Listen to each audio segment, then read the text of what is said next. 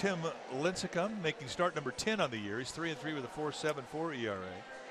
For Lincecum, two-time Cy Young Award winner, four-time All-Star. Plouffe runs. Strike three call. Two and two the count.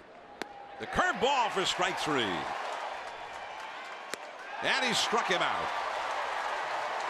Twins have scored twice here in the third. Center field, Pagan in a little bit now. Giants middle infielders double played that. It's hit softly to third. Pablo is going to go home. And that's an easy out. Two down, the two and two pitch. Curveball struck him out. And the inning is over. Posey, he'll take it himself. And Lincecum living dangerously. High in the air into the big part of the yard. Plenty of room for Pagan.